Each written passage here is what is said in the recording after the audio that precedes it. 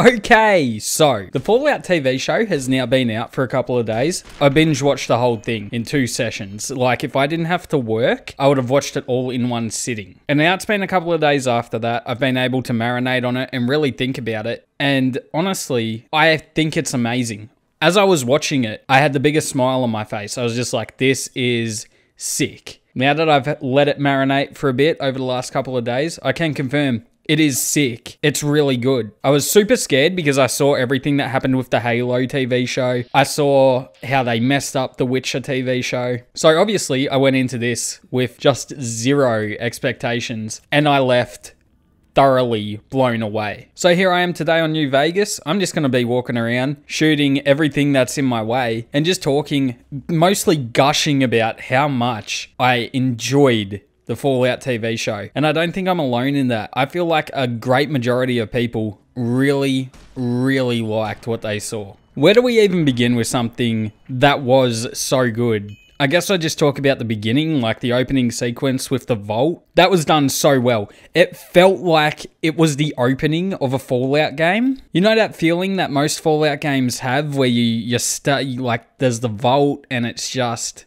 I don't know how other to explain that it felt like a new Fallout game. It felt like a good new Fallout experience. The whole the whole way the vault is, the way the people are in it, the whole Lucy and Chet like her cousin thing was just that was so out of pocket, but it was so Fallout. It was just very very good. It was so well done. It was funny as and seeing everything in the vault, seeing a vault come to life in live action like that. Honestly, I just I just absolutely loved it. And then the the whole battle in the vault as well with the Raiders from 32. That was sick. Like that was actually so well done. That was so good. There was a part in the battle where someone had a gun in someone's mouth and started shooting through the back of his head. That's like that guy had the bloody mess perk on. Like that was crazy. I'm so glad they didn't shy away from all the gore and everything. Like bodies exploding in Fallout was a huge thing, at least in Fallout 3 and New Vegas. And so for them to incorporate something like that into the show, of course, having people just randomly explode all of the time, not the easiest thing to do, but they didn't shy away from the gore. And in the battle as well, like the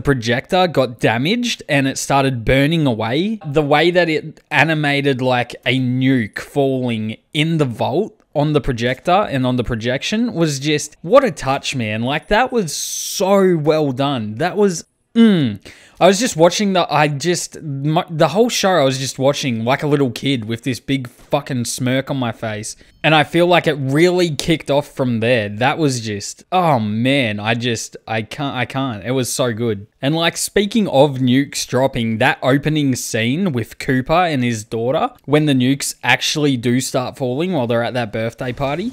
Oh my god! Like oh my god, that was like I had chills watching it, seeing him try to get away on the horse and just the nukes dropping closer and closer, and you're just seeing the city be devastated. The spectacle of it, the spectacle of it was just something else, man. It was just something else. Like, yeah, I loved it. I loved the whole opening sequence. Back to the vault, Lucy, Lucy McLean. I'm uh I'm in love with her. Like uh low key. Low key? No, high key. High key, I'm in love with her. Lucy as a character is she's a little over the top. She's a little much, I'm gonna be honest, she is. But at the same time, I'm in love with her. I really I super am. Just the way the way she speaks is so hilarious to me. She like she tries to speech check her way out of absolutely everything. It's it's so good because obviously her speech skill is not high enough and she just fails all the time. And so it always always just, you know, uh, escalates into conflict and that makes me laugh. That's such a fallout thing.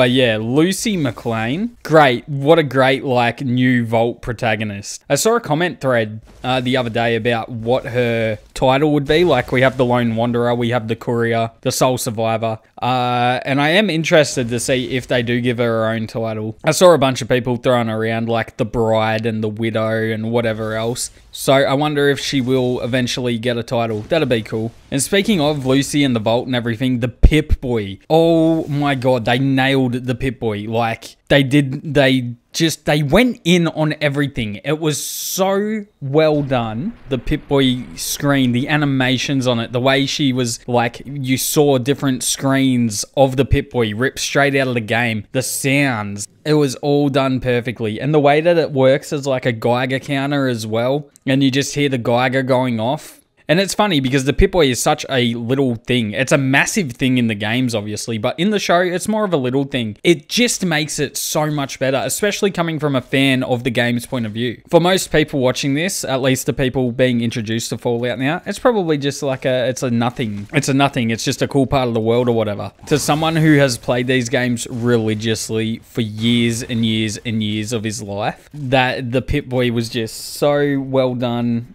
I just, yeah. But going back to Cooper Howard and the bombs dropping at the start, the ghoul, he is such a cool character. Such a cool character. And the way that they have him linked back to before the war, like he's been around for the 200 plus years and everything, and having that link back to the past so you're able to see from his point of view and everything leading up to the war. They couldn't have done it better. I really don't think they could have done it better. It's he's such a great character as both the movie star and the ghoul. And later on, during like one of his flashbacks, you actually find out that he is essentially he is essentially the model on which Vault Boy was built. Like the thumbs up the the iconic Vault Boy thumbs up has essentially come from him, and it's just the way it all ties in. It's like he's he, back pre-war. He's friends with the voice of Codsworth, and it's like just seeing that stuff is just so. It's so cool. It's so cool. Yeah, it makes me so happy. We've kind of been starved on the Fallout front for the last few years for the last half a decade, probably. And this TV show has just come along and absolutely knocked it out of the park. Coop's weapon as well, that pistol shotgun hybrid. It's more like a shotgun. Maybe it's more like a nade launcher. I don't actually know. It's like a bolt gun out of 40k or something like that. The way that it's just explosive and it just he just rinses through crowds with it. It's absolutely it's insane to watch. It's such a fallout weapon and it's honestly it's kind of an iconic weapon for one of the characters to have and just go around blasting with and his combat like prowess in general it's it's just it's so it's so great he is a great great fighter and it was uh it was mad watching him go to town, to be honest. And that end scene with the Brotherhood of Steel, and the way that he knew where the power armor's like fault lied because he'd worn one in the war before the before the uh, nukes dropped. Amazing. And then there's Maximus as well. Honestly, he was the weakest of the characters for me. That's not to say that he is a weak character. He was the weakest for me personally, but I did, I, li I like his character as well. And it's cool. I think they, this was a, see, I've never played Fallout 1 or 2. So my whole knowledge of everything going on, I don't really know too much about it regarding like the Enclave and the Brotherhood and rah rah rah rah. So the Brotherhood definitely seemed very different compared to what I'm used to. And I kind of liked it. Seeing him kind of navigate his way through the Brotherhood was refreshing. I never realized that they were I okay, like they're a cult. Of course they're a cult, but I never really saw the side with like the priests, like when Maximus is getting Maximus is going to be executed at one point and you see the priests like waving around, giving him his last rites and it's it's very cool. It's a part of the Brotherhood that I didn't really know existed and it's definitely opened up my interest into them. Also, oh my god, the Prydwen being being present. Oh my god, the first time I saw that thing in Fallout 4, I lost my mind. And seeing it again in the show, I lost my mind for a second time. I also like about Maximus how he's kind of a badass. Like he has the Brotherhood training, right? He has the training and he can just he can go to town on pretty much anything and everything. But I'm glad that he has a goofy side as well because the ghoul obviously doesn't have that goofy side. He's completely serious. Lucy, for the most part, is pretty goofy the whole time, and Maximus is basically the in between of both of them. And it's just a cool little dynamic, especially when they're all together in the few times that they are. And speaking of the Brotherhood, the power armor, it honestly looked really cool.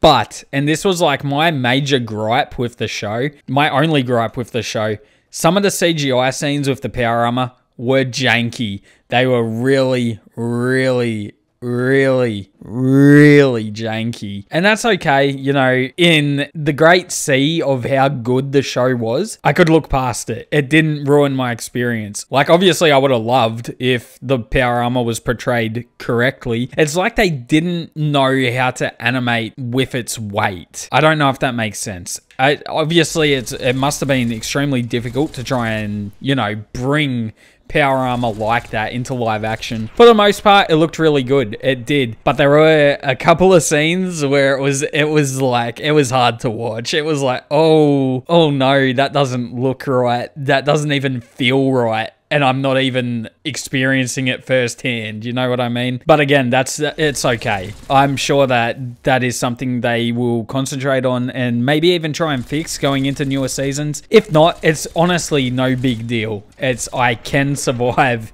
if the power armor is a little janky. One of my other little gripes with the show, and I'm I think a lot of people are feeling this way, is that we found out that Vault-Tec essentially dropped the nukes or they moved the needle in in the like on the war front where like peace treaties or negotiations and everything Vault-Tec had a huge hand in making sure that those didn't come to fruition. I think that's what the show is more leaning towards unless i'm just blanking and they just flat out said that they hit the nukes. I think a lady does say we pushed the button. However i feel like running interference on any kind of peace options as well may have been an option. In in any sense, it is an insane premise that Vault-Tec is the main cause of the Great not the Great War, but the nukes being dropped. That is insane. Insane. However, humans are inherently shitty. And the further that we go into our future, like right now, us in the present, the further that we march on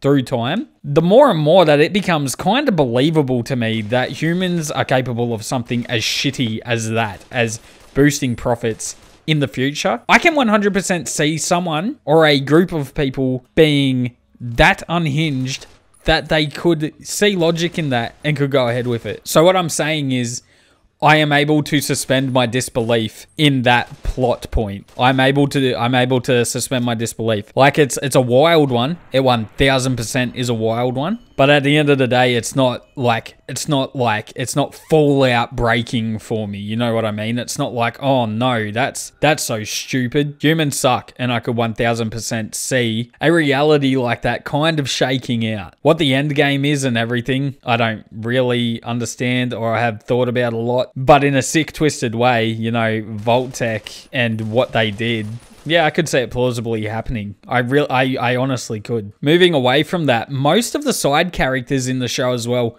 were fantastic. Off the top of my head, just thinking of the snake oil salesman and the two times that you see him in the show. Is it two times? It might be more than two times, but the two main times where you see Maximus rescue him from getting a brutal beatdown to come to come and find out that he was trying to have sex with chickens to then him, I think his name's Thaddeus, to him then interacting with Thaddeus and healing his absolutely mangled foot and ending up with a fusion core. I kind of, I kind of look forward to seeing uh, him in the future. If he's, not, he, he will be, he will be in the future. They don't just plant a seed like that and let it go, you know, untouched. I saw someone say that he looked like a, uh, that he looked like a character brought into the show from the Wild Wasteland perk, and I 1000% agree with that sentiment. So in Filly, Maximus interacts with like a, a little sales, a, a little saleswoman who does repairs and everything like that, and she says that she wants five caps to repair the part from the power armor. He doesn't have five caps. And so he goes and gets a tooth pulled out so that he can pay the five caps to her.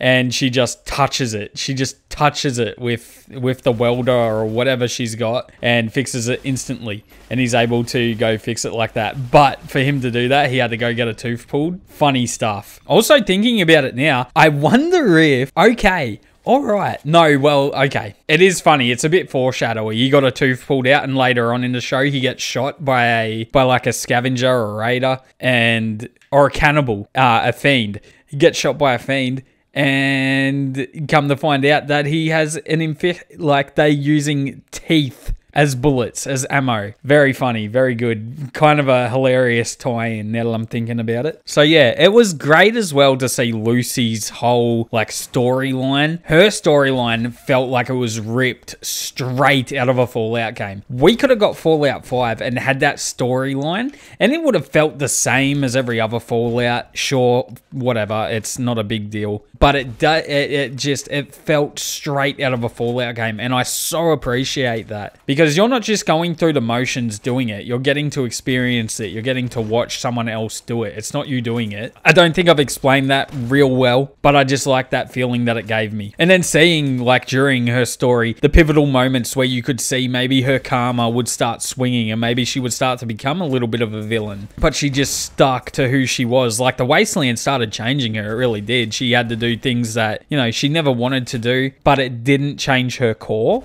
and I yeah, that was that was super good to see. It's great to see she's kept her same values and everything. And speaking of like the wasteland changing you and everything, it's funny how Coop, uh, the ghoul, said that there's the one there's the one rule of the wasteland, and that is you will always get distracted by some bullshit. That was that's a great line. That is such an excellent line. It's so it's so refreshing. They knew what they were doing when they were making this, when they were writing it and filming it and building it. They knew what they were doing, and I'm just, I'm so happy that we've all got to experience this. And I really do hope that this brings in more fans to Fallout. Might even push Bethesda to loan out the IP and actually get some new games going. Sorry, that was a bit of And seeing not just the three vaults, like Vault uh, 31, 32, and 33. But seeing them, uh, Maximus and Lucy, end up in Vault 4 as well, that was great. To see another Vault in action was, and that Vault was amazing. I did have a tiny, a small, tiny little gripe with that. How did Vault 4 get Maximus's armor back to the Vault? Because I don't think they had any other fusion cores. That was the whole thing, right? Was Vault 4, they steal the fusion core and then they give it back. How did they get his armor back? It doesn't matter. I accepted in the Dark Knight Rises that Batman just somehow got back to Gotham. I can accept that Maximus power armor was somehow dragged back to Vault 4. And Vault 4 was just great. It was actually hilarious how at the end of Vault 4, where it looked like Lucy was in a lot of trouble and she was in danger and they were to like off with her head to then just where he couldn't cut the he couldn't cut her hand to as that was funny as the overseer in that vault was pretty cool as well. It was weird seeing a cyclops. It was super strange seeing a mutated guy like that but i i dug it. I really i loved it. I loved him Speaking of like mutants and uh, you know, mutated people and everything like that, I would have liked to see a few more creatures, like seeing the Yao Guai. That was super cool, seeing it do battle with like Brotherhood of Steel power armor. That was super dope. That was awesome. I would have really, really, really liked to see a Deathclaw. Obviously, that's been teased. There was the scene where you see the Deathclaw skull. So I'm down for that. But I, you know, there was rad roaches and whatnot. I would have loved to see maybe giant rats, maybe some rad scorpions, bloat flies, Mm, yeah, you know, they have such a, they've got such a well to pick from. And maybe some geckos. I, I don't know. I, it was, there was Brahmin, which was super cool to see. I did like seeing a Brahmin. But yeah, it, I, you know, it's a minor thing. It's leaving more open in the future. We're going to definitely see more creatures. I also would have loved to see some super muties. That's okay though. Like I said, it just leaves more. They didn't blow their load instantly. They didn't blow it instantly. They didn't just go absolutely ape shit straight away. It was cool that dog meat was included. When dog meat got stabbed by the ghoul straight away, I was actually so cranky. I was so angry. I was like, how are you going to have dog meat in this and get rid of him away? I was so pissed off and I hated the ghoul. And then, then, then to see that he was actually just wounded and you could give him a little stim pack and that was it. Dogmeat was back. Yeah, I fell for the bait. 1000% I fell for the bait. And Dogmeat's just like a staple. I hope that means that Dogmeat is just unkillable. That's that's what that should mean, right? So he's going to be there until the very end. And the music, hold dude, the the thing that really tied it all together, the thing that drove it home was the way they used the music, the way that they incorporated the music, like in-game music, to the songs that like that iconify Fallout. The way they used it all, I it's very rare. I've got this thing where I don't notice music a whole lot in media, games, movies, whatever. It's just some I love music. Like that's what that's one of my biggest joys in life is music. When it comes to video games and media, I just don't notice it. I don't know why. Maybe because it's so good in nearly everything that you don't realize it's there. Like it's doing its job so well that you just, it just blends in and it becomes part of what you're watching and it becomes part of the whole. Maybe it just turns visual for me. I don't know. This show used the music so perfectly in such a nostalgic way that I just, I lost my mind nearly every time something came on. And all the different props, seeing the stim pack in the med kit, seeing, seeing the ghoul throw the caps after eating the tomatoes, seeing Nuka Cola machines, the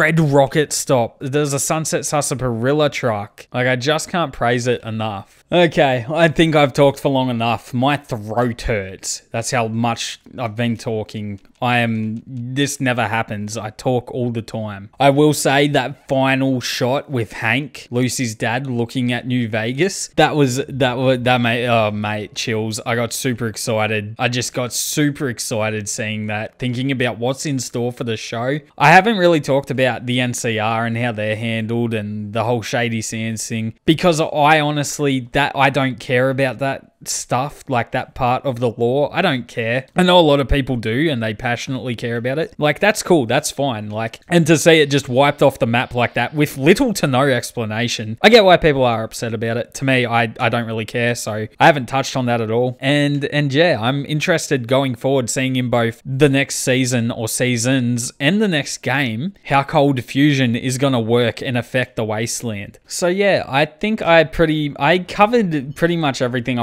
wanted to talk about. Obviously, I haven't talked about a lot of the stuff in the show. I've watched it all the way through once, and I wasn't really mentally you know, thinking about absolutely everything because I was in just such shock and awe of how good it was. It was such a fan service. It was such, it felt like it was a love letter to the people who play the games. It really, I just, I loved it. And so with that, I think I'll leave it here. I think I'll leave it here. If you have watched this far and you've listened to me just talk kind of all over the place, thank you so much. But the show has, one last thing, the show has definitely ignited something in me, uh, Fallout related. I think I'm about to just start pumping out a whole bunch of Fallout videos. I think that's, I think I'm about to.